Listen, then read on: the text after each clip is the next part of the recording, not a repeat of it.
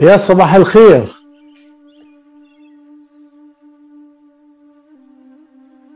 يا هلا يا هلا يا هلا. كيف الحال؟ الحمد لله كيف انت؟ بألف نعمة ما شاء الله عليك. آه، عندك قدرة بعد المقابلة كمان تعمل مقابلة؟ آه بس آه، ما إحنا بنحكي ما عملناش شيء إيه كويس. هاي فقط آه، اجعل الأمور تحدث حدوث. كيف حالك؟ كيف انت؟ الحمد لله الحمد لله دوما ممتاز. يلا إحنا بين الأيادي انت أي سؤال بدك تسالنا أنا تفضل يعني. رح بدأت التسجيل؟ بدأت آه. التسجيل مبين. آه بدأت. أوكي. هلأ نحن يعني اللي عرفته آه، من المرة الماضية ما أخذت حقك بالتفصيل بالقوانين الكونية. لا. لك القوانين الكونية نحن بنعرفها من خلال القوانين الهرمسية السبعة. وأنت لك اكتشافات حلوة بالفيزياء آه، اخترقت آه، بالعمق ومتوافقة مع بعض من هي القوانين. فرح نعرف الأصدقاء على هذه القوانين الكونية أو اكتشافاتك العلمية بالفيزياء. هي الاكتشافات اللي مثبتة بالحقل العلمي. طبعا. لما نقول مثبتة بالعلم يعني خلص بطل الكلام. ما عاد موضوع اعتقاد. لا غيبيات ولا إلحاد. في واقع.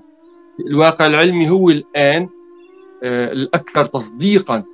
فبنتمنى إنه آه، تحكي للأصدقاء ومثل ما خبرتك المرة الماضية إنه أصدقائي من يعتبروا من المتابعين المتفهمين لكثير قضايا. فخذ راحتك و... ونحن وياك على الخير. شكرا أول شيء على الفرصة الطيبة هاي. إيه، أنا يعني بالأول قبل ما أبلش إيه، لازم أقول إنه أنا ما تعلمتش فيزياء. يعني حقيقة إيه، أنا كنت تعلمت في تعلمت بيولوجيا في في المدرسة الثانوية. وبعدين لما تعلمت طب طبعا تعلمنا شيء بسيط من ناحية الفيزياء حتى نفهم قضية الهيدروديناميكا والقضية جريان الدم والضغوطات الموجودة في القلب وهكذا. يعني شيء بسيط اللي بعطيش الإمكانية إنه يكون في أساس علمي من ناحية الفيزياء. بس لما بلشت أبحث عن طبيعة الروح وعن تأثير النفس على الجسد آه، ما كانش في عندي مفر إلا إنه آه، أتوجه للفيزياء لأنه إذا كان في طاقة اللي بتعامل بالطاقة هي الفيزياء. وإذا كان في معلومات اللي بتأثر على الطاقة أو كيف ممكن إحنا إيه، نفسر تأثير المعلومات على الطاقة وتأثير الطاقة على المادة فلا بد إلا إنه نتوجه للفيزياء. فأنا فكرت إنه الفيزياء اليوم يعني وصلوا لدرجة إنه بيعرفوا كل شيء بالفيزياء. فسألت السؤال الأول قلت يا ترى قبل الانفجار العظيم إيش في كان؟ فبقولوا بالفيزياء ما كانش ولا شيء طب طب ليش صار الانفجار العظيم؟ وكيف خلق الكون العالم المادي من ولا شيء لأنه في عندنا قانون قانون اللي بقول لك حفاظ الطاقة. يعني مش معقول أنت تيجي تخلق شيء من ولا شيء هاي من ناحية فيزيائية. هذا شيء اساسي بالفيزياء؟ فشو كانت الجواب؟ كان الجواب آه بس هذا مزبوط القانون موجود بس بلش بعد الانفجار العظيم. يعني يعني من الانفجار العظيم وطالع ممكن نطبق هذا القانون بس قبل الانفجار العظيم ما مالوش تطبيق. فطبعا هذا إشي مش منطقي ولا يعقل ولا إيه، نقدرش تتقبله هذا الجواب. فاللي لقيته إنه الفاكيوم اللي هو ولا إشي الفراغ الفراغ. هذا الفراغ فيه له كتلة معينة فيه له إيه إيه إيه مش وزن كتلة اللي هي ملهاش لا مش كتلة اللي نسميها density. Density إيش بتسمى ال density بالفيزياء هي عمليا الأساس قبل اللي تسبق الكتلة. كثافه معين يعني في شدة كثافه آه. أصغر من أصغر شيء أكبر من أكبر شيء. في كتلة اللي هي mass مضبوط بالإنجليزي؟ وفي أيوة. عندنا كثافة اللي هي ال density الكثافة هي ال density. هسه إذا بنرجع للفيزياء بنشوف إنه في إمكانية نعمل حساب قديش ال density تبعت الكون. قديش الكثافة تبعت الكون بدون بغض النظر عن وجود المادة أو عدم وجود المادة. فبيطلع إنه هاي ال- الكثافة هي 10 أس ناقص 27 كيلو جرام لمتر مكعب. معناته كان في إشي قبل وجود الانفجار العظيم. وسألت السؤال طب كيف كيف خلقت مادة من ولا إشي؟ فالولا إشي كان؟ القانون الأول. هو قانون التوحيد. القانون اللي بقول لك إنه أي إشي موجود في هذا العالم الأصل تبعه من إشي واحد. من ناحية دينية بنقول ربنا خلق ال- الكون. فربنا واحد. من ناحية فيزيائية بقول لك في طاقة. يعني إذا بنأخذ كل المواد الموجودة حاليا في العالم وكل الطاقة الموجودة في العالم نرجع لورا بنلاقي إنه في نظرية اللي اسمها grand unified theory هاي النظرية تبعت اينشتين اللي حلم فيها وما حققهاش في النهاية. إنه يصل يفهم إيش النقطة ال- الوحدة اللي منها كل شيء طلع. ف يعني توفى قبل ما يصل لحل لهي المشكلة. فاذا بنضطر نرجع للفراغ الكوني بنلاقيه إنه فيه كتله وهي الكتله لما صار الانفجار العظيم وبعد وانت ممكن نفسر ليش صار الانفجار العظيم بس بعد ما فسرنا السبع قوانين الكونية. يعني أنا بفسر كل شيء موجود في الكون من ناحية فيزيائية من ناحية روحانية من ناحية بيولوجية وحتى من ناحية نفسية بسبع قوانين. وهدول السبع قوانين ممكن تطبقهم بأي مجال اللي بدك إياه. نفس القوانين ما فيش حاجة إنك تيجي تخلق قوانين جديدة في مجالات مختلفة. ها؟ فالقانون الأول قانون- التوحيد بقول إنه أي شيء موجود في هاي أي مادة أو أي طاقة المصدر تبعها كان طاقة واحدة. حسب النظرية تبعت grand unified theory اللي حاليا قاعدين بيدوروا عليها. بس إيش المشكلة؟ المشكلة إنه بالفيزياء اجوا نفوا وجود الأثير. نف... نفوا وجود الأثير عمليا نفوا وجود المصدر. اليوم بدل ما نيجي نقول أثير بنقول quantum field أو بنقول dark energy أو بنقول zero point energy أو بنقول بنسميها عمليا الفراغ الكوني black matter black. matter لا black matter معموله من dark ج- من virtual particles يعني جزيئات وهمية. ها بينما ال dark energy معموله من شيء مش معروف بالمرة. لأنه بالفي... بال quantum physics ب- في جزيئات اللي بتظهر وبتختفي طول الوقت. حلو. تظهر وبتختفي طول الوقت. هاي الجزيئات بنسميها virtual particles يعني اللي هي جزيئات وهمية. في ممكن تقيس ال effect تبعها مفعولها أما مش ممكن تيجي تلقطها. مش زي المادة اللي موجودة بتضل موجودة. مم. هاي اسمها black matter okay؟ حلو. هلا تفضل. معناها يعني لأيدك بهي الفكرة على حسب المعتقدات العالمية. هلا بالهرمسية أول قانون عم بيكون العقلانية منتاليزم. الواحد يعني الخالق جل جلاله منزه عن الخلق خلق فقط البيضة الكونية أي الخلية الوحدة. بذرة الأكوان هو العقل. في شفرة معلوماتية لكل شيء يلي مثل بيضة الدجاجة رح تظهر معلوماتها لاحقا. مم. الآن كيف ممكن نفهم هي الدارك انرجي اللي هي عم يتعبر عنها بالفيزياء؟ إنه وهم بتظهر وبتختفي. نفس العقائد اللي بتقول إنه هذا العالم كله اللي نحن شايفينه هو مايا أي الخداع أي الوهم. سموها آلهة الوهم من قوة التأثير الخادع لحواسنا. فمنين جاي هي اذا هي جاي من العقل من الواحد من الموجب نتيجة الخروج. قال خرج. هذا العقل هي بيضة. البيضة متصلة مع جوهر الوجود بالخالق العظيم. لما بده يخرج من البيضة كائن حي عديد الخلايا خرج الكون. إذا من العقل من الواحد خرج التعدد الأرقام. نحن الآن بعالم وهمي. أما نفس هذا الكون عم يرجع يصيبه ديزوليوشن انحلال وإعادة من جديد للانفجار.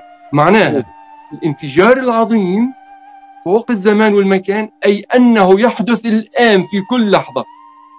ديزوليوشن وإعادة خلق إعادة انفجار. هي نفس الشيء عم بصير بالنجوم. الشمس قوة نابذة تخرج الكتلة النارية بقوة رهيبة بيرجع في قوة جذب للمركز معناها نفس المبدأ عم بصير صح. معناها نحن الآن عم نظهر كفقاعات بساحة الوجود وعم نرجع للمصدر. عم نظهر ونرجع.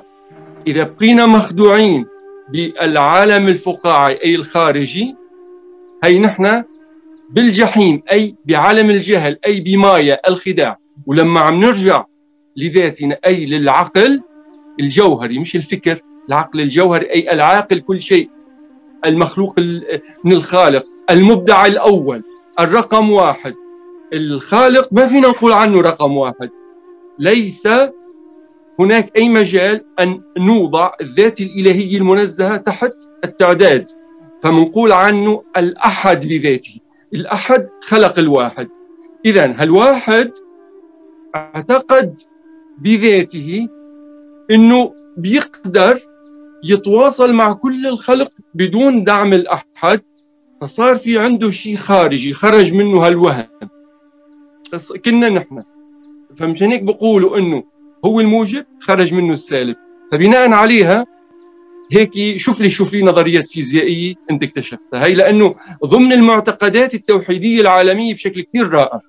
ممتاز. بس في حتى بالقانون الأول التوحيدية اللي له علاقة بالخالق بنشوف إنه في عندنا ثلاث ثلاث مواضيع مختلفة اللي اللي طرحت بنظريات مختلفة من ناحية حتى آه، أديان من ناحية دينية.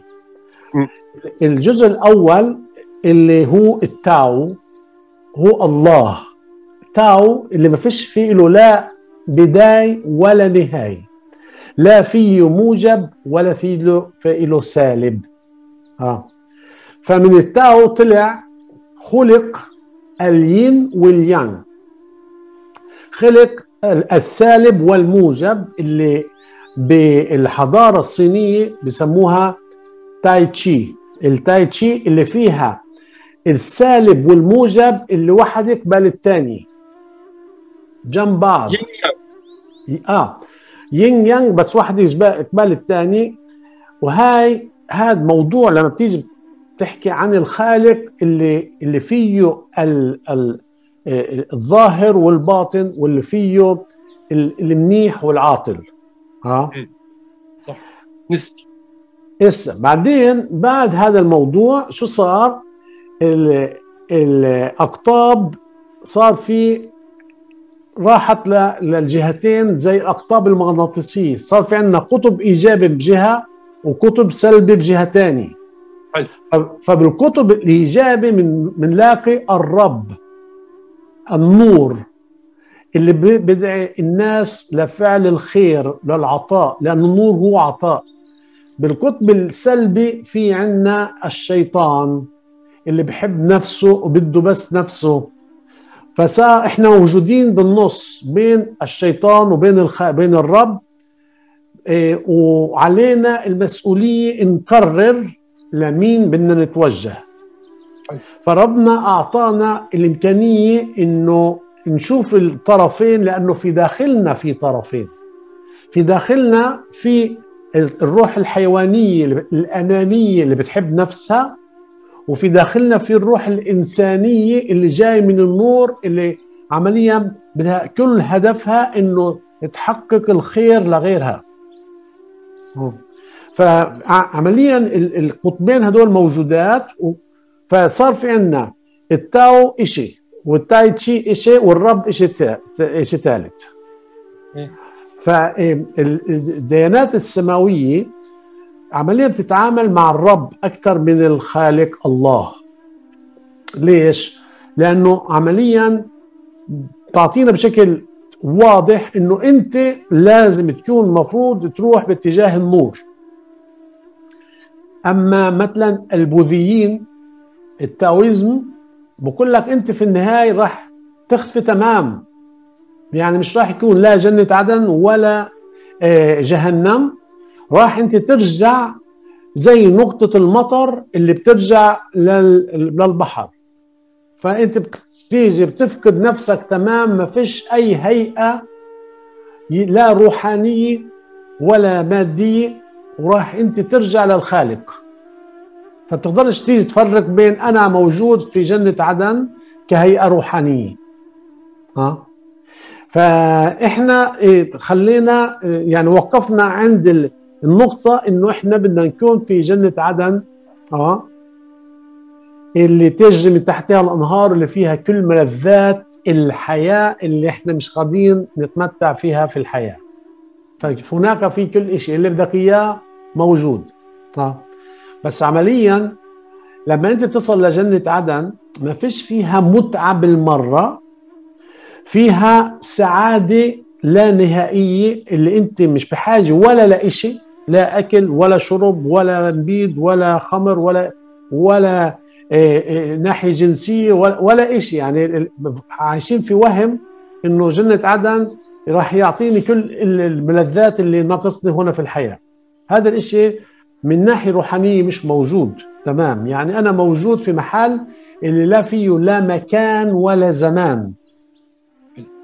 يعني بقدرش أفرق بين أنا هون وأنا غاد يعني كيف الواحد بيكون بيحلم ها؟ زي حلم اللي مش عارف حالك انت عمليا وين انت موجود وقد إيه صار لك موجود و و يعني قضيه الوعي والإدراك مختلفة تماما فأنا أخذت الإشي الأساسي اللي هو التاو الله اللي لا له لا أول ولا آخر. اللي منه طلع القطبين اللي هن عمليا معلومات هن مش طاقة بعدهم. وين صارت الطاقة؟ لما صار في حركة بقلب هذا المجال اللي هو عمليا له كثافة معينة بس ملوش كتلة. الكتلة ظهرت لما صارت الطاقة لما صارت المجال يتحرك كيف تحرك وقت الانفجار العظيم؟ صار يعمل حوامات. وأنا كتبت مقالة بفرجيكم المقالة في يعني مجلة اللي هي علمية وممكن تفتحوا هاي المجلة شايفين هنا. إيه اسم المجلة إيه The Journal of High Energy Physics Gravitation and Cosmology. أوكي؟ نعم.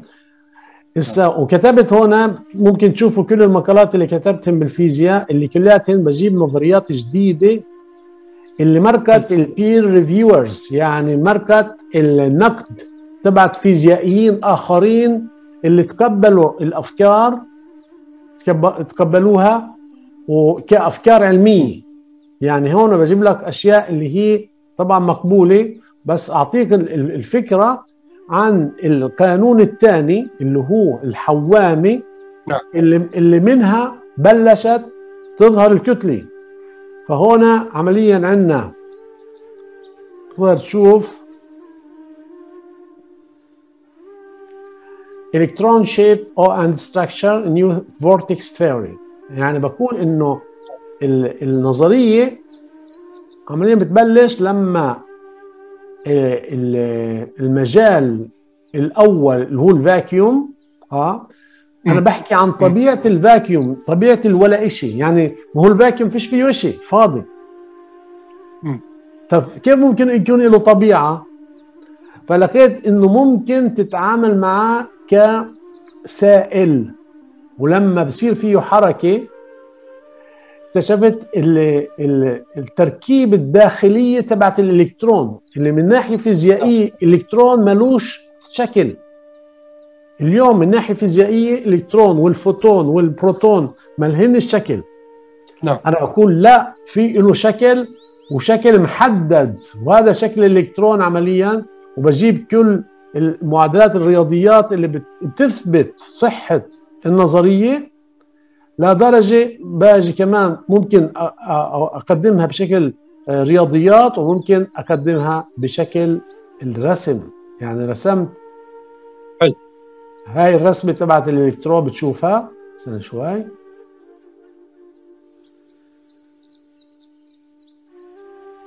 وين الرسمة؟ هي. فبتشوف عمليا إنه لما المجال يصير يجري ويعمل حوامه من إيش معمول حوامه من نفس المجال اللي هو لا شيء لما بصير يدور بصير يعمل حوامات صغار والحوامات الصغار عمليا بيعمل حوامه كبيرة وهاي الحوامه كبيرة هي عمليا الإلكترون. اللي له قطر وله سرعة دوران وله كتلة. وعملت حساب من ناحية الكتلة تبعته عملت حساب حسب القطر تبعت هاي الحوامه اللي لها كثافة هذا المجال اللي هو 10 أس ناقص 27 بيطلع عندي بالضبط الكتلة تبعت الإلكترون وبيطلع عندي صفات الإلكترون كاملة. ها؟ بعطيك كمان واحد ثاني اللي أخذت الإلكترون وعمليا إيه، بدي أعرف إيش ال- ال- ال- ال- الشحنه الكهربائيه من إيش معمولة. الشحنه الكهربائيه لحد اليوم مش معروف الشحنه الكهربائيه من إيش معمولة. والسبين تبع الإلكترون كيف شكله؟ شو spin تبع الإلكترون؟ كيف بدور الإلكترون؟ فبتشوف عمليا هاي نظرية جديدة في الشحنة الشحنة الكهربائية تبعت الإلكترون. نفس الشيء باجي باخذ عمليا ال vortex structure اللي هو الحوامة وبلاقي إنه في عنا نوعين الحوامات. في عنا حوامة اللي هي زي تبعت المي اللي بتأخذ من ال- periphery من من برا بتفوت لجوا وفي عنا حوامة زي التورنادو اللي بتأخذ من المركز وبتزت لبرا. فهاي من برا لجوا بنسميها إلكترون ومن جوا لبرا بنسميها بوزيترون. وهيك لأول مرة ممكن أنت تفرق بين البوزيترون وبين الإلكترون بشكل اللي تشوفه بعيونك. يعني لحد اليوم بيحكوا عن بوزيترون و... و... وعن الإلكترون بدون ما يكون في شيء اللي ممكن تتخيله أنت. وهون بجيب لك كل المعادلات ال- ال- ال- الحسابية كل الحسابات اللي بتثبت صحة النظرية. وبعطيك بالضبط ليش الشحنة الكهربائية هاي هاي الوحدات ال ال ال ال ال القياسية.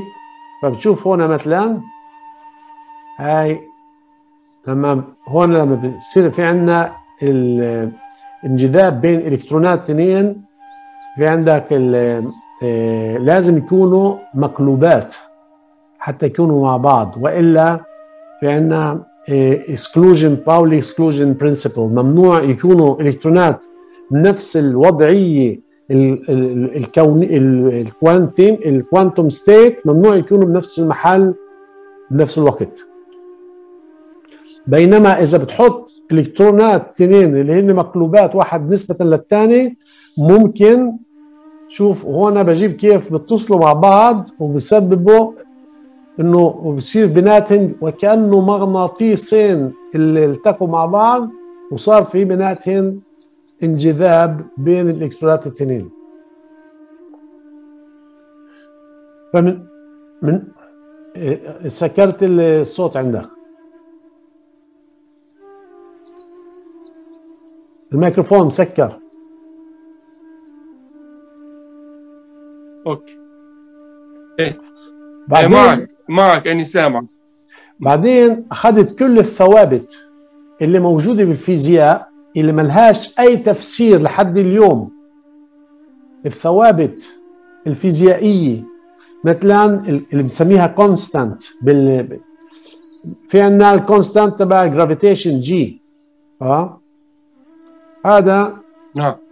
هذا ثابت بالفيزياء.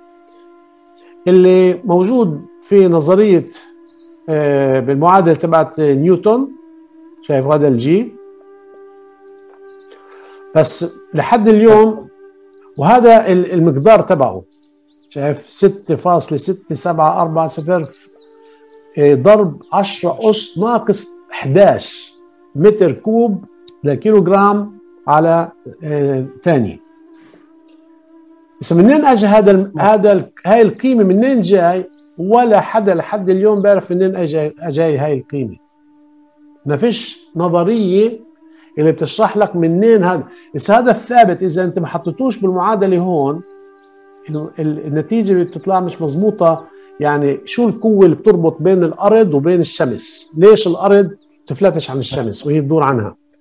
فهذا القانون هو اللي بقول لك قديش القوة الموجودة بين الأرض اللي هي M واحد اللي هي آه، والشمس M اثنين آه، قسمت ال R square اللي هي عمليا البعد اللي بيناتهم إذا بتحطش الثابت G هذا بيطلع النتيجة مش مضبوطه نعم. بس هذا كان يعني اكتشفوه إنه بشكل إمبيري إنه لازم أنت تحطه حتى يز... يكون عندك ال... ال... النتيجة النهائية تكون مضبوطة. فإيش لقيت؟ إنه هذا ال G نعم. له علاقة مباشرة بال vacuum. بالفراغ. وإيش هو عمليا؟ لما الطاقة بالحوامة اللي شفناها قبل تمرق بتدور هي بتدور وحواليها في إيش؟ فراغ. المعارضة اللي بتصير يعني الاحتكاك اللي بصير بين الطاقة اللي بتجذب بقلب الحوامة وبين الفراغ اللي حواليها بيطلع عندك هذا المج... هذا ال... ال... ال... النسبة. يعني في عندك أنت اليوم زي آه، فوتونات اللي هي آه، وهمية اللي بتجري من برا لجوا. على فكرة يعني كمان هذا الشيء اللي قلبته تمام.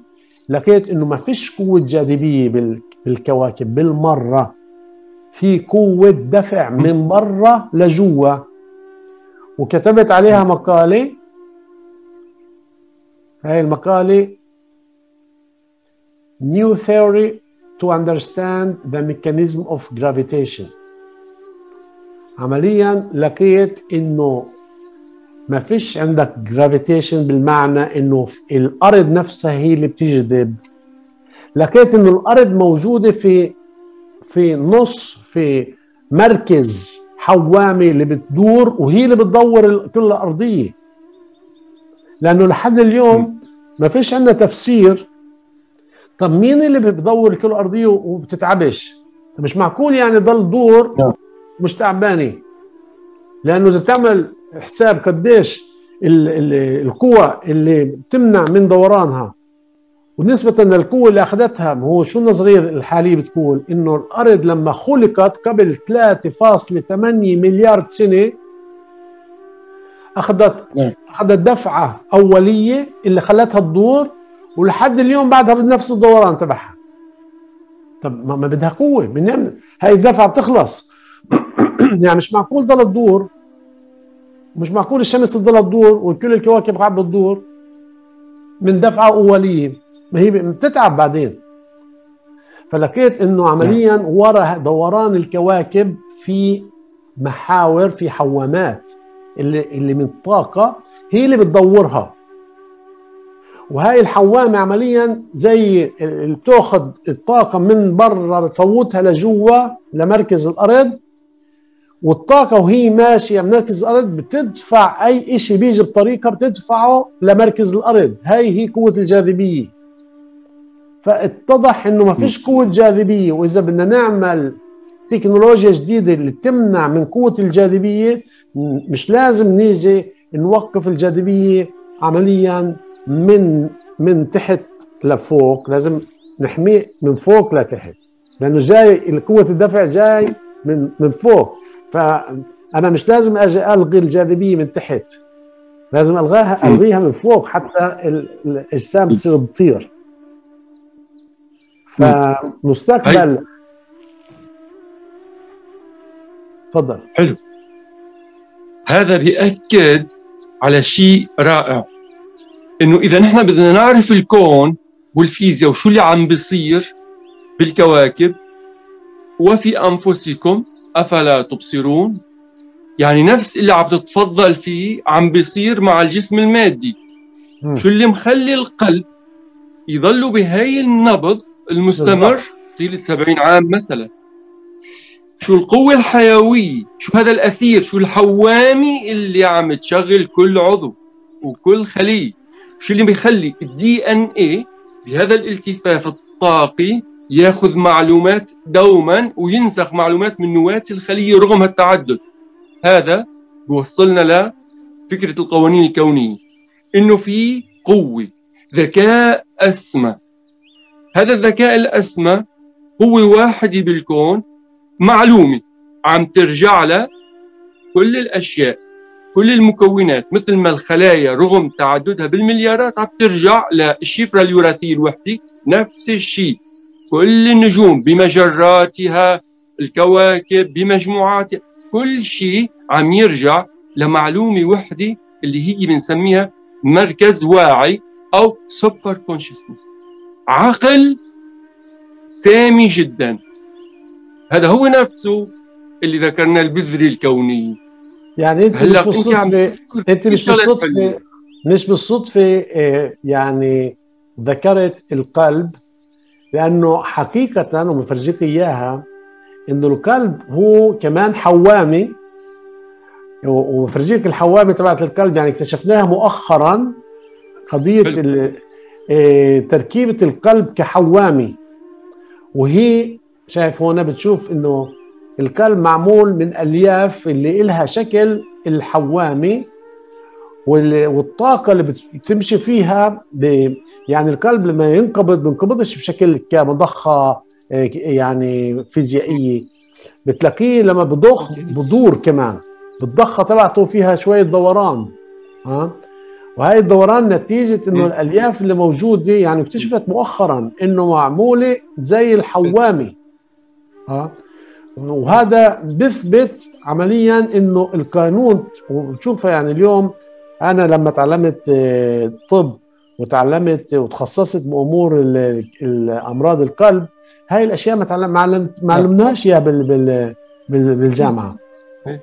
ولحد اليوم مش ما فاتتش بشكل رسمي بالتعليم إيه. الجامعة أما الاكتشافات بتدل إنه القلب نفسه عمليا معمول من هاي الألياف اللي هي كحوامه ونتيجة الطاقة اللي بتجري فيها هي اللي بتعطي كمان طاقة الكهربائية الأولية اللي بتسبب لتفعيل القلب.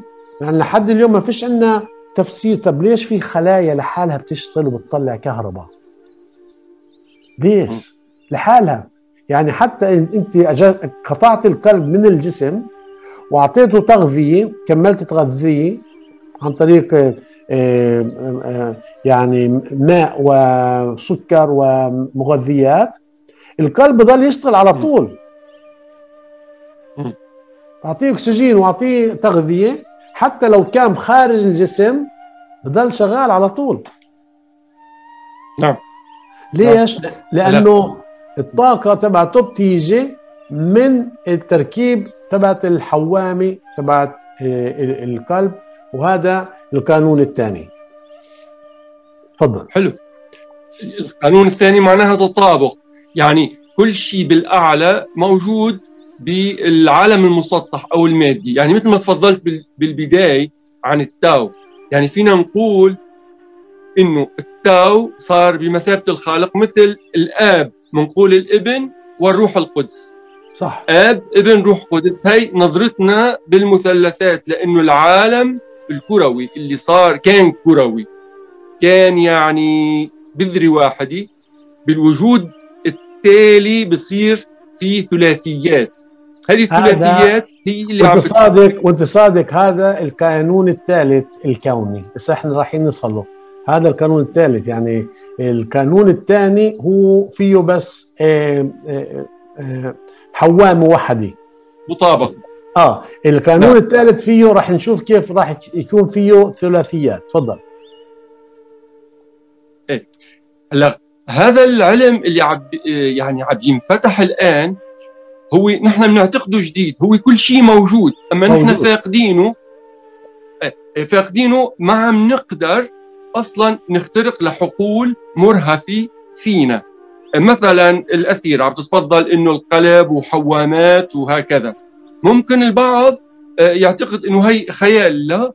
كيرليان لما اكتشف كاميرا كيرليان بيصور الهالة الأثيرية من أكثر من 100 سنة. آه. آه اعتقدوا إنه اكتشف الروح عمليا ما اكتشف الروح هو اكتشف الهالة الأثيرية أو الجسم الأثيري الجسم الطاقي الثاني اللي عم بيولد المادي بعد في عندنا مكونات أعمق بالإنسان. يعني لما بنتكلم عن العقلانية بعدين المطابقة بعدين ما نتكلم عن الاهتزاز هي بتوقع هون القانون الثالث لما ناخده من فوق. بده يصير فيه الآن تفصيل أكثر. عالم صح. التفصيل هو اللي عم تتفضل فيه. وأكيد مربوط كله بالعقلانية. تفضل. هسه إيه لما إيه لما بيكون في عندنا إيه محور واحد اللي هو عمليا أي شيء حتى بتيجي تطلع على الظهور على ال ال الأشياء اللي موجودة عمليا بالطبيعة بتشوف إنه إيه في أشكال كثيره اللي إلها نفس الشكل اللي هي logarithmic spiral اللي هي عمليا vortex اللي بتدور في له قانون حسابي محدد وفيه بروبورشن فيه مقادير ثابتة اللي هي بنشوفها إنه لها علاقة مباشرة بال بالاشكال اللي موجودة في جسمنا. وال الروابط اللي موجوده بين أجزاء مختلفة من ناحية الكبر تبعها اللي هي فيها ثوابت. يعني ما فيش ولا إشي خلق عبثا أو بالصدفة ولا إشي كل إشي بحسبان. يعني حتى بجسمنا بنشوف إنه في له حساب رياضي يعني ثابت واضح. فالقانون الثالث هو المثلث الكوني. المثلث الكوني بقول إذا كان عندنا كوارك الكوارك عمليا هو الجزيء اللي بيكون آه، اللي بيكون البروتون والنيوترون. يعني النيوترون معمول من ثلاث كواركات والبروتون كمان معمول من ثلاث كواركات. ف الكوارك له شكل حوامي زي الإلكترون بس الفرق من ناحية الكبر تبعه. يعني كبرة الكتلة تبعته بتختلف عن ال... عن الإلكترون. من هون بيجي إنه لما بيجي كوارك بيلتقي مع انتي كوارك عمليا فبصير بيناتهم ترابط. فرجيك الترابط هذا كيف بصير. وساعتها بصير عندنا عمليا. عم فرجيك بالكمبيوتر الثاني. أوكي. آه، كثير آه، حلو. هلا هي عم يتراءى لبالي تشبيه آه، رائع لهي يعني نفسها نواة الذرة لأن الكوارك بالنواة. أيوه. هلا هاي هو نفسه العالم الداخلي والخارجي. هاي ال ال الكوارك والأنتي كوارك. بيجي الكوارك الثالث شايف؟ الكوارك الثالث بنضم لهن. هاي بس آه، بعطيك مثل كيف حتى من ناحية كونية بتشوف هاي الظاهرة موجودة بالكون. هاي مجرات اللي شكلها كمان نفس الشكل اللي شكل محاور. والمجرة تبعتنا كمان لها شكل أيوة. مجرة اللي, آه، اللي هي زي المحاور. طيب. لما بيجوا بيجتمعوا الثلاثة عم بصير لما بيجوا الثلاثة بيجتمعوا مع بعض بصير شكلها زي إيش؟ زي الفقع ثلاثة مع بعض شايفين؟ زي الميدوزا نعم. أيوه. زي القنبله أيوة. الذرية. زي لما الطيارة بتمرق بالغيم بتعطي نفس آه. الشكل. من هون اجت أهمية القبة معناها لاحظ شكل طاقي عم يعطي حوامه طاقية معينة. آه هدول المخ الدماغ والكلوة. نعم. شايف؟ خارجي وداخلي شيء خارجي وداخلي. بالضبط يعني شوف هنا عمليا هذا الجنين في أول أسبوع اللي شكله زي شكل الفقع. نعم. فبتلاقي عمليا هذول ثلاثة موجودات فمن هون حتى شكل يعني لما حطيت كنت بدي أعرف كيف ال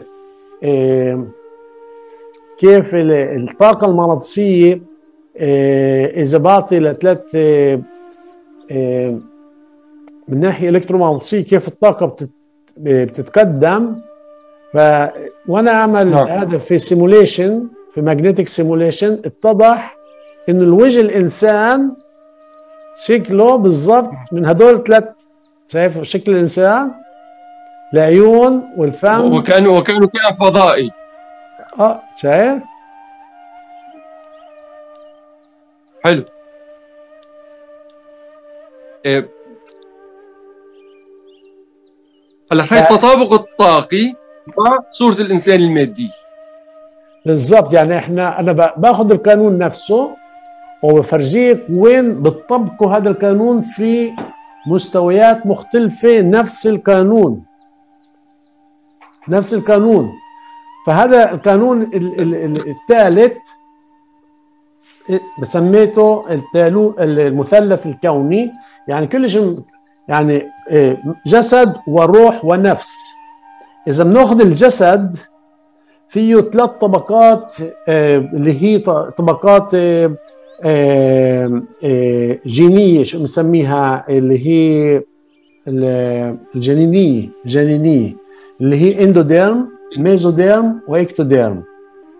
وإذا بناخذ النفس حسب علم النفس بنلاقي في إيد وإيجو وسوبر إيجو. وإذا بناخذ الروح مقسمه ثلاث أقسام الروح الحيوانية الروح الإنسانية وروح القرين. روح الإنسان هي ثلاث أجزاء. آه لما هدول ثلاث أجزاء بتفاعلوا مع الدماغ بيظهر عندنا ثلاث أقسام النفس. ثلاث أقسام النفس يعني إيه النفس لحد اليوم بعدها إشي يعني إيه إشي يعني مش معروف. مو مكتشف الجزء الطبي أو السطحي أو الظاهري منها. هسه عمليا كتبت مقالة في هذا المجال اللي اللي فوتت فيها المجال الروحاني بالنفس. هي فرجيك المقالة نفسها. هاي المقالة. نعم. نشرتها ب الروحاني بمعنى العقلي الواعي. نعم. لا مو روحانيات الهوى. لا روحاني روحانيات روحاني. لا روحاني اللي هو مختلف عن النفسي هي الروحاني المختلف عن النفسي آه. وهذا هذا المقال شايف المقال نشر في مجلة علمية اللي اسمها International Journal of Psychiatry Research. يا هاي المقالة. Integration between psychology and spirituality. A new paradigm for the essence and the nature of the psyche. ومرق البير ريفيورز وفيها بشرح بالضبط عمليا كيف المجال المغناطيسي تبع الروح الحيوانية معمول زي المجال المغناطيسي اللي فرجيك إياه من الأجات. و وبقسم الروح الحيوانية لثلاث أقسام. الروح النباتية الروح الحسية والروح الذكية. وهدول كلياتهم بالروح الحيوانية. والروح الحيوانية هو المجال المغناطيسي. هو الطاقة المغناطيسية اللي عمليا موجودة في الجسد وخارج الجسد اللي هي مختلفة عن الروح الإنسانية وعن روح القرين. الروح الإنسانية هي quantum state هي يعني وضع اللي معلومات فقط بدون طاقة. الروح الح... الإنسانية هي مش طاقة هي بس معلومات information ولما هدول ثلاث أجزاء بتفاعلوا مع الدماغ بيظهر عندنا ثلاث أقسام تبعت النفس زي ما جابهن فرويد. ال id اللي له علاقة بالطابع العاطفي الإيجو له علاقة بالطابع المنطقي والعقل. وال super ego له علاقة بالقوة البديهه عم بلاحظ إنه بكل طبقة عم تشرحها عم يرجع يتكرر ثلاثيات الوجود. بالزبط. يعني يعني دوما عم نكون نحن بعالم له هيكليه له كروية معينة له ذاتية بيرجع بينقسم للتفصيل بشكل ثلاثي. بالضبط. في هندسي في هندسي فبتشوف هنا ال ال ال ال الواعي واللاواعي يعني unconscious subconscious unconscious. ثلاث أجزاء منين جايات؟ عمليا إيش هو العقل الباطني؟ العقل الباطني هي المعلومات اللي موجودة في الروح اللي ما تفاعلتش مع الدماغ. معناته الذاكرة عندنا موجودة بالروح مش موجودة في الدماغ. فعمليا ثلاث أقسام تبعت العقل الباطني إيه كمان بنقسم بنقسم الدماغ لثلاث أقسام. الدماغ في عندنا reptilian brain اللي هو اللي, اللي, اللي هو مسؤول عن كل الفعاليات الأساسية للحيوية وللحياة. عندنا limbic brain اللي هو له علاقة بالطابع العاطفي. وعندنا neocortex ال neocortex اللي له علاقة بالذكاء. فبنشوف إنه في مقارنة بين الإشي الروحاني وال وال والطاقة وبين الطابع المادي. ف إيه بهذا عمليا فوتت الطابع الروحاني مش كإشي اللي هو إيه إيه عمليا نظري. فمن هنا بيجي عمليا إيه إحنا بنحكي عن القانون اللي هو الثالث. القانون الثالث اللي هو ثالث الكوني. ماشي؟ نعم. هلا في فينا نقول إنه ثلاثيات الوجود. نحن اسلاميا بنقدر نقول عنها هي نفسها ثلاثية غرض المعرفي العارف وعملية المعرفة. غرض المعرفي يعني الآب الله الوصول لهاي الوعي هي الروحانية العالية الفائقة غرض المعرفة. العارف هو نحن كوجود مادي وعملية المعرفة هي حركة الروح فينا. يعني هذا التطابق الثلاثي دوما ثلاثيات الوجود حتى بالعقائد الهندوكية بنلاحظها براهما فيشنو شيفا. هذا السر مو قليل. بتمنى إنه تطلع على أبحاث لباحث اسمه كمال مسعود عن الأهرامات والسر الرقمي والأعداد مع سر الحرف والعلوم كلها في أبحاث يعني يصعب فهمها على الناس العاديين. أما بتوقع بكلامك معه ممكن أنه نحصل على شيء جديد. رح أعطيك الرابط اللي له كمان. إن شاء الله. إن شاء الله. أنا حسب اعتقادي مش رايحين نلحق اليوم نشوف كل القوانين. في إمكانية إنه نكمل يعني نعمل حلقة ثانية ونكمل آه، لأنه آه، أنا بفكر إنه مهم إنه نعطي كل قانون حقه ونشوف كيف بيظهر وتعبير في حياتنا اليومية. وكيف ناخذ قوانين اللي هي كونية بنطبقها حتى نحسن جودة حياتنا في النهاية. يعني مش مجرد معرفة راح نشوف إنه إلى علاقة مباشرة بالناحية الصحية من ناحية عقلية ومن ناحية عاطفية ومن ناحية آه، جسمانية. أكيد أكيد معك آه، حق لأنه الآن بال radionics علاج ال radionics لعلاج الذبذبي بالشكل من خلال الأشكال. معناها عم نحن ناخذ معلومة من الشكل. كله متداخل ضمن علم واحد. هذا العلم آه الآن بدأت بوادر كثير رائعة إنه عم يوصل. إذا نحن بنجي نطابق هالعلم هي مع آه القوانين اللي تفضلت فيها وطبقناها على الإنسان. مثلا خلينا ناخذ هالإنسان كشاكرات أو مقامات طاقية سبعة. آه. لاحظ تطابق الآن الرقم سبعة مع القوانين الكونية السبعة. خلينا ناخذ القلب. آه. القلب إذا اعتبرناه هو عقدي لقمعين. هالقمعين واحد للأعلى وواحد للأسفل. بتلاحظ إنه من القلب في عنا رح يطلع مقامات طاقية باتجاه الأسفل أي العالم الخارجي. سلبي لاحظ شاكر الظفيرة الشمسية عند المعدي. عالم خارجي علاقات وعواطف بعدين شاكرة تحت السرة هي الشاكرة المقدسة وبعدين الشاكرة القاعدية. معناها ثلاث مقامات. هدول بالقمع خارجي. سالب لاحظ ثلاثة كمان. الآن فوق العقدة القلبية رح يطلع عنا ثلاثة أيضا. شاكرة الحنجرة بداية السماء والسمو. هي للتعبير والإبداع.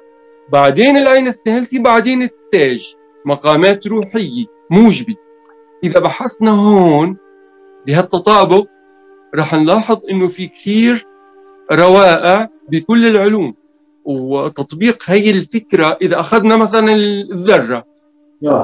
الذرة هي عبارة عن مجال خارجي وداخلي. المجال الداخلي هو ضمن النواة. القلب الآن هو النواة. داخله داخل قلبنا في عوالم روحانيه اللي هي عم بتكون بمثابة النيوترون والبروتون والكوارك لاحظ الثلاثية؟ هي ثلاثيه طاقيه للداخل. طيب خارج النواه في عندنا مدارات طاقية علاقات للإلكترونات مع بعضها في عندنا إلكترونات أثير وآخر شيء عم بصير في تجسد لشيء معين. آه بدنا ناخذ هالتطابق هي بين هي الفلسفي والروحاني والطب. إذا طبقناهم على بعض وعم يتطابقوا بشكل كثير حلو بنكون معناها آه، أكدنا على الحلقة إنه فعلا القوانين اللي حكينا عنها اللي تفضلت فيها العقلانية الواحد بعدين المطابقة بعدين سميته آه، هو الاهتزاز أو المثلث لأنه لما بصير في ثلاثية بصير في هي الاهتزاز. ما في علم إلا ما ضمن هذا المجال اللي عم تفضل فيه هي النظرة الشمولية هي اللي رح نحتاجها. إيه ربط الأمور مع بعضها بشكل حلو كثير. اللي اللي مفاجئ إنك أنت عم تقدر تثبت هاي العلوم بالعلم من خلال اكتشافات فيزيائية وهي شيء رائع. أنا ممكن المشاهدين يقولوا كيف؟ كيف يعني عم يقدر يكتشف؟ آه يعني آه هي شيء آه، خليه الآن سري للبعض بس هو مو سري على الكثار من الناس العلم تذكر. إنت بمجرد ما إنك عم تطلع من المستوى المادي ومن التفكير المحدود لمستوى الأكاشا عم تقرأ معلومات. عم العلم تذكر عم تجيب هاي المعلومات. صح. وعمليا إيه، كل هاي المعلومات اللي بجيبها إيه إيه كان في عندي إمكانية إنه أحصل عليها والحمد لله بقول انه اعطاني الإمكانية إنه أروح على على المكتب الكونيه وانزل هناك المعلومات. والمكتب الكونيه عمليا هي مكتب اللي موجوده بشكل وكان وهمي إنه هذا الشيء مش موجود بس هذا الشيء الوهمي آه، أعطاني كل الإمكانيات إنه آه، اكتشف أشياء اللي هي عملية فبطل شيء وهمي صار شيء عملي اللي هو موجود في المجال الروحاني اللي ما فيش إلي أي تفسير ثاني اللي ممكن تقول فجأة صرت أكتب مقالات بالفيزياء طب أنا ما تعلمتش فيزياء منين أجيب فيزياء؟ يعني مش مش معقول إنه فجأة صار عندي فبتلاقي إنه حقيقة في إمكانية ثانية من إنه نتعلم مش بس عن طريق آه، إنه آه، أقرأ وأعيد على القراءة حتى أتذكر. في إمكانية إنك تفوت الغيمة تبعت المعلومات اللي هي كلاود بشكل مباشر للروح وهناك بتصير تنزل من الروح عن طريق الدماغ تنزل كل المعلومات بشكل مباشر. فبتصير وكأنك تتذكر الأشياء اللي أنت ما تعلمتهاش. فهمت كيف؟ حلو. يعني أنت صرت مثل الصوفيين لما قالت الصوفية نحن طلاب العلوم الإلهامية لا التعليمية. علم لدني. بالضبط. هذا هو العلم الإلهامي اللي عمليا بيجي بس صار في طريقة عملية اللي ممكن تعلم غيرك كيف يعملها. بطلت إشي يعني بس مربوط فيي علم حقيقي. المعلومات هاي باخذها بكتبها مقالات علمية وبنشرها. لحتى أثبت صحتها. يعني ممكن أنا أقول إنه جبت أشياء وخرفت قصص وحديث بس إذا ال ال ال ال العلماء الثانيين والباحثين ما قبلوهاش بضلها شيء اللي هو عمليا آه، ممكن تكون تسميه نظري. ها؟ بس اليوم المعلومات هاي مركت عن طريق النقد. تبعت الفيزيائيين الآخرين وقبلوا الأشياء اللي إلها في منطق مع الأشياء المعروفة والحمد لله يعني المقالات هاي كانت تنقبل يعني ما عدا مقال واحد اللي رفضوه اللي هو عن الفوتونات وإن شاء الله راح أنشره عن قريب بشكل مختلف إيه لقيت. كيف الفوتون معمول شو شكله وكيف. بال... بالفراغ؟ وإيش اللي بخليه إيش بخلي الفوتون طول الوقت يمشي على طول؟ بوقفش ولا مرة. منين جاي القوة هاي؟ منين جايته هاي ال... ال... الطاقة اللي بتخليه تجري ملياردات الكيلومترات ملياردات السنوات السنوات الضوئية بدون ما يتعب وكلها فوتون. فالحمد حلو. لله. يعني رائع. هلا اللي اللي بيميزك اللي بيميزك آه، إنه آه، في تواضع. يعني بالرغم من هاي العلوم هذا التواضع هو أساسي. لأنه اللي بده يجرب يدخل لهي الحقول الأثيرية آه، عبر وسائط خارجية أيواسكا أو ما بعرف إيش في عندنا عباد بيدخلوا لهي الحقول. اللي بيميزك التواضع كثير ناس عم تدخل لهي الحقول بمجرد ما ياخذوا معلومة من الأثير تتضخم الانا عندهم بفكروا حالهم مميزين عن باقي الخلق وكأنهم شيء ما يعني. خلص رب العالمين ما خلق غيرهم. عم ينسوا إنه نحن كلنا خلايا بجسد كوني واحد. يعني ما في ميزة لخليه على خليه المهم إنه الواحد يتناغم مع هذا الوجود الأوحد لله. فالصفات الحسنة هي اللي مطلوبة مشان الإنسان يقدر يضل محافظ على استمرار هذا التدفق العلمي. الحمد لله لأنه هذا شيء ما يعني الشعور ما لا نهاية له والمفروض إنه يكون قناة مفتوحة على طول وما نفكرش إنه صار في عندنا شيء خاص اللي تأخذه وتقول أنا أنا كل شيء وبعرف. يعني كل ما عرفنا بزيادة كل ما اكتشفنا قديش معرفتنا ضئيلة وبحاجة لبحث مستمر. فبتأمل إنه اللقاء الجاي إن شاء الله نحكي عن الموضوع القوانين الكونية الثانية وبنشوف كيف آه، بشكل تدريجي كيف نصل للوضع اللي له علاقة بين الصحة وبين القوانين الكونية. اللي ممكن حلو حلو. آه. معناتها حلقتنا الآن هي روحانية. روحانية يعني آه، شوي صعبة على كثير ناس. هي مثل مركز القلب والطاقات الأعلى. الحلقة القادمة رح تكون مادية من القلب والطاقات الخارجية. هي بتناسب كثير الجمهور. آه بس حقيقة يعني إذا لاحظت كمان إيه نفس القوانين اللي هي روحانية عالية في لها تطبيق كمان على المادي لما حكينا عن ثلاث أجزاء القانون مثلا المثلث الكوني قلنا إلى علاقة بين الروح والنفس والجسد والروح لها ثلاث أجزاء والنفس لها ثلاث أجزاء والجسد له ثلاث أجزاء. بعدين أخذنا حتى الشريان نفسه إذا بنطلع الشريان معمول من ثلاث طبقات كل شريان يعني الجدار الشريان معمول من ثلاث طبقات القلب معمول من ثلاث طبقات. يعني كل شيء ثابت معمول من ثلاثة. مش بقول شو المثل بالعربي؟ بقول القدر بركب على ثلاثة لا؟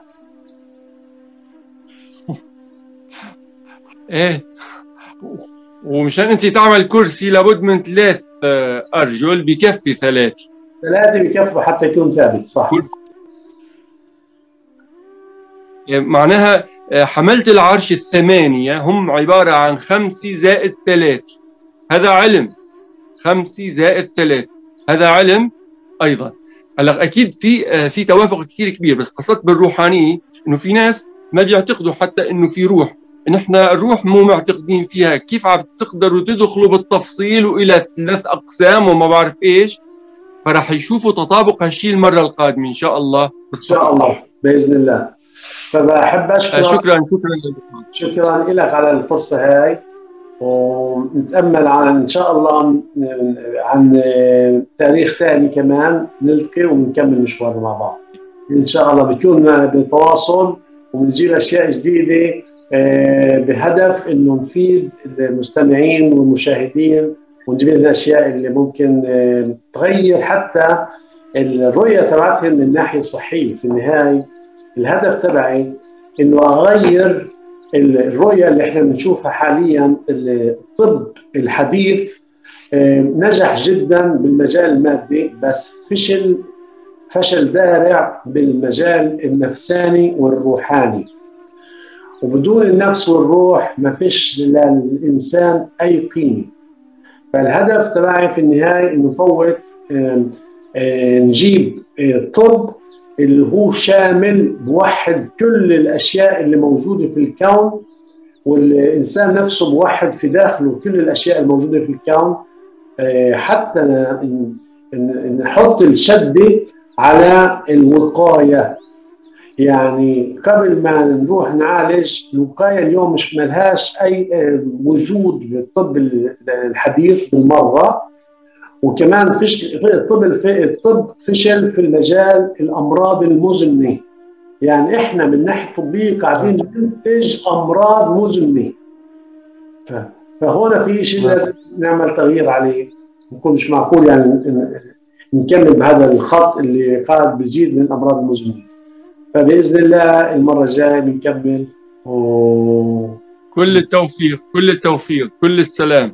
شكرا. كل السلام والتوفيق يا رب. سلام سلام. وإلى اللقاء. توفيق إن شاء الله.